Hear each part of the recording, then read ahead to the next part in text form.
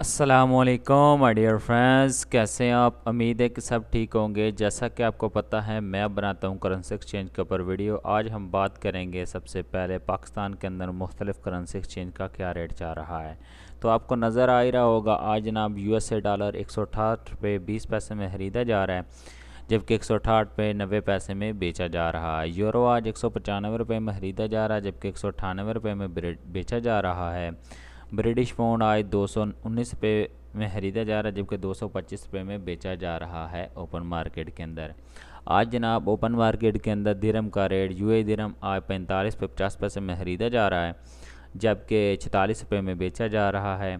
Saudi riyal आई पैंतालीस पे, पचास पैसे में ख़रीदा जा रहा है, जबकि छतालीस रुपये में बेचा जा रहा है। कुवैती दिनार पाँच सौ इक्कीस रुपये में ख़रीदा जा रहा है, जबकि पाँच सौ तेईस रुपये पचास पैसे में बेचा जा रहा है। कनेडी डॉलर एक रुपये में ख़रीदा जा रहा है, जबकि एक रुपये में बेचा जा रहा है। आगे चलते हैं जनाब। आज ऑस्ट्रेलियन डॉलर एक सौ इक्कीस रुपये में ख़रीदा जा रहा है, जबकि एक सौ पच्चीस रुपये में बेचा जा रहा है। जापानी, ओमानी रियाल आज चार सौ अट्ठाईस रुपये में ख़रीदा जा रहा है, जबकि चार सौ तीस रुपये में बेचा जा रहा है। जापानी आज एक रुपये अठावन पैसे में ख़रीदा जा रहा है, जबकि एक रुपये में बेचा जा रहा है।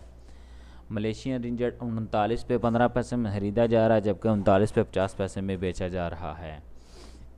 जबकि कतरी रियाल आज पैंतालीस पे में ख़रीदा जा रहा है, जबकि पैंतालीस पे पैंतीस पैसे में बेचा जा रहा है।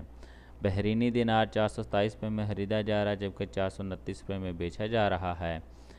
जबकि चैनियन चौबीस पे पंद्रह पैसे में ख़रीदा जा रहा है, जबकि चौबीस से तीस पैसे में बेचा जा रहा है।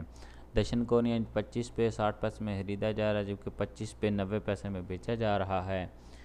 न्यूजीलैंड डॉलर आज एक सौ तीन पे सत्तर पैसे में ख़रीदा जा रहा है, जबकि एक सौ चार पे चालीस पैसे में बेचा जा रहा है। सिंगापुर डॉलर एक सौ पे में ख़रीदा जा रहा है, जबकि एक बाईस पे में बेचा जा रहा है।